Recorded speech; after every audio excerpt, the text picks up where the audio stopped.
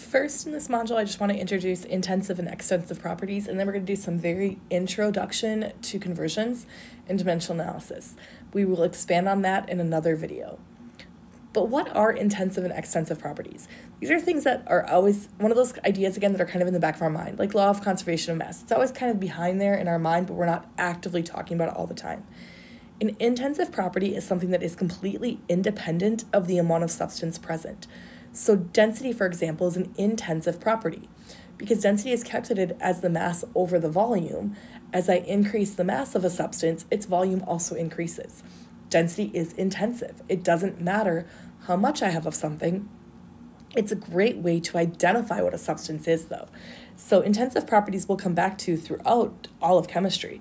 But not all, but a lot of intensive properties, such as density and molar mass, can actually help me identify species. By species, I mean what molecule or compound it is, what, what, what is it made of. So density again, mass over volume. As I increase the mass, the volume also increases. Therefore, density can be used to identify something. Density is temperature dependent because volume is temperature dependent. We will talk about that in a future chapter as well. Molar mass is another example. We'll be introduced to molar mass soon, but molar mass is the grams of a substance divided by the moles of that substance. A mole is a um, number word. Mole represents how many of something I have. Temperature is also an intensive property. Doesn't matter what how much of something I have, it's that temperature. If I have, you know, five liters of water at 25 degrees C versus, you know, if I have a um, five milliliters of water in the same room, they're going to be the same temperature. They're both 25 degrees C. It doesn't matter how much I have of it. Extensive properties are dependent upon the amount of substance present. So that's things like your mass, your volume, the number of moles, the heat. So, mass of something, how much I have of something, the mass of something is dependent upon the amount I have of it. If I have more of something, it's going to weigh more. If I have more of something, it's going to have a larger volume. Number of moles, again, we're going to talk about soon, but this correlates to the number of things.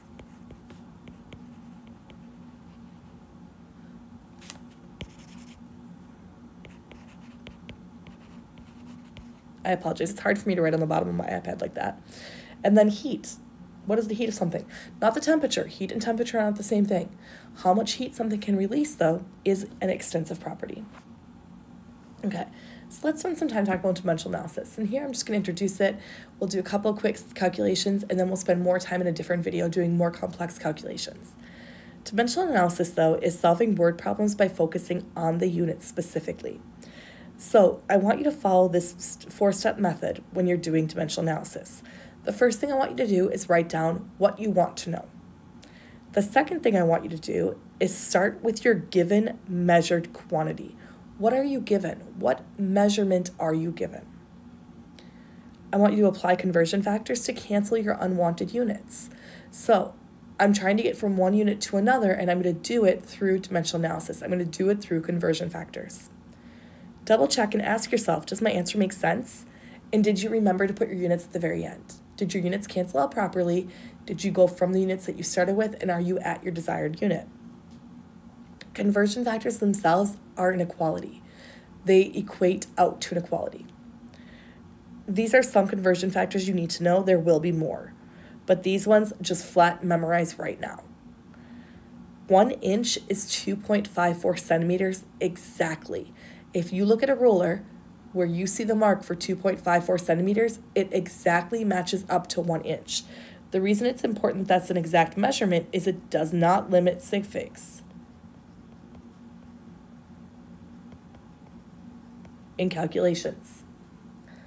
One milliliter is one cubic centimeter. One cc stands for cubic centimeter. That is also exact. 12 feet is exactly, or sorry, 12 inches is exactly one foot. Three feet is exactly one yard. Exact measurements don't limit sig figs. 2.205 pounds is one kilogram. That is four sig figs. This is four. The one is exact. That can be 1.000. It doesn't matter how many zeros you put, but the 2.205 does have four sig figs to it. Or you can remember 454 grams is exactly one pound with three sig figs. I don't care which one you use, but you need to be able to convert distance between the metric system and the US system. You need to convert mass between the um, US system and the metric system, and you need to be able to convert volume. One liter is 1.057 quarts. There is four sig figs here. So this is the equivalent of saying 1.000 liters is 1.057 quarts. And 2.205 pounds is 1.000 kilogram. Okay? Again, I did write 3 feet equals 1.0 yards here, but this is an exact conversion. So that's the same as saying 3.00 feet is 1.00 yards. It doesn't matter there because it's an exact conversion. What are conversion factors though? Conversion factors are that they're just an equality. I know that if I have one inch, I have exactly 2.54 centimeters.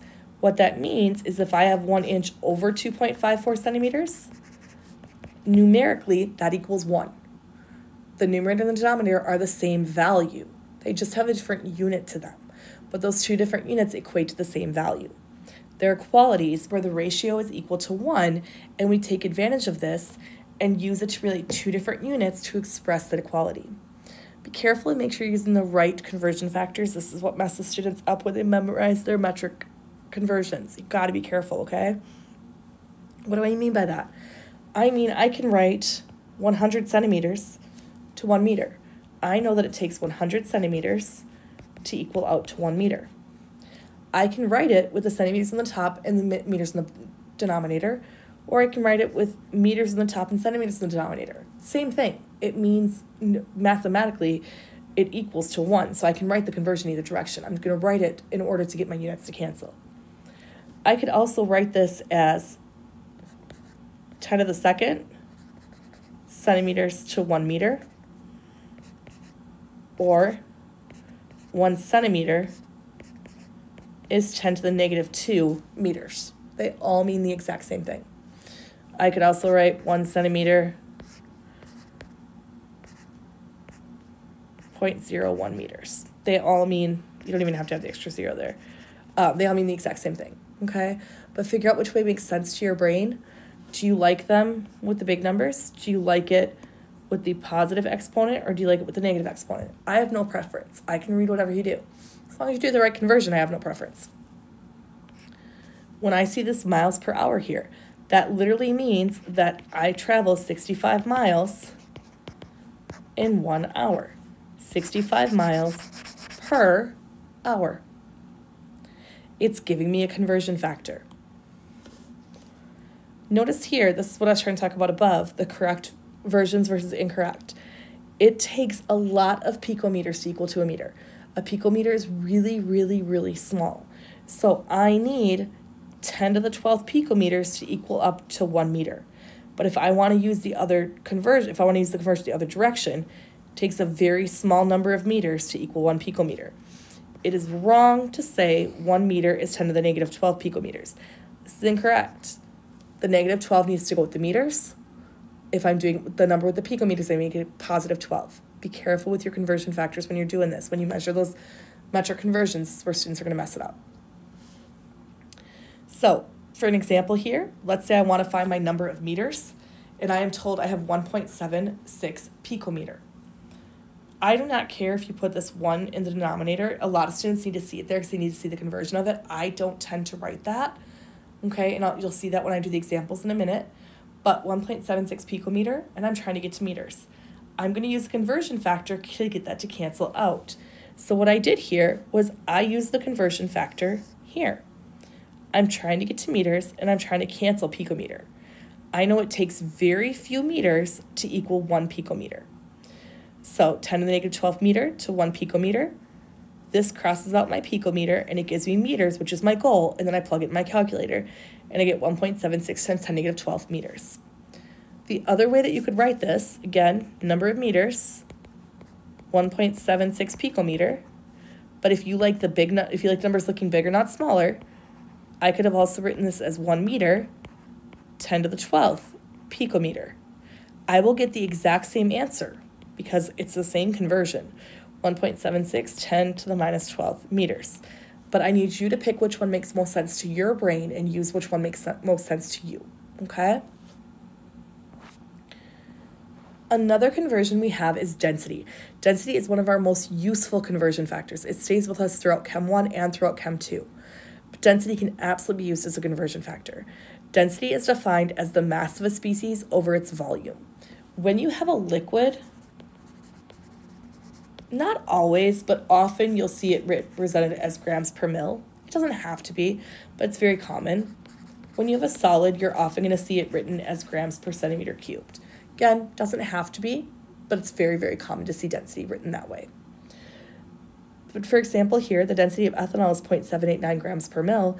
Express this as two conversion factors. Well, I can write 0.789 grams for every one milliliter, or I can flip that over and say one milliliter is 0.789 grams.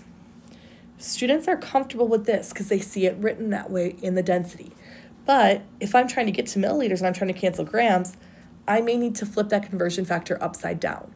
It works because the equality itself is equal to 1. So it doesn't matter what's the numerator, what's the denominator. I do have to keep the 0.789 with the grams, and then when it says per mil, that is implying 1 milliliter. I do have to keep that part straight, but I can flip these around how I want. Let's do uh, two simple examples here. How many feet are in six yards, and then how many yards are in six feet?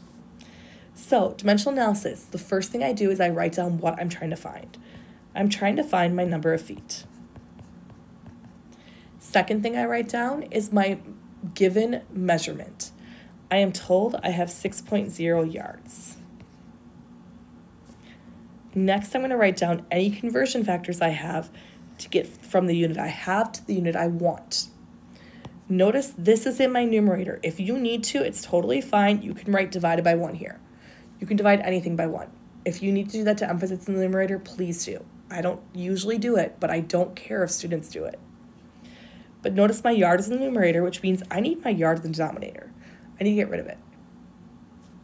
I do know that 3 feet equal 1 yard because I have my conversions memorized. So I know that if I have three feet, I have exactly one yard. This cancels out my yards and gets me to feet, which is my goal.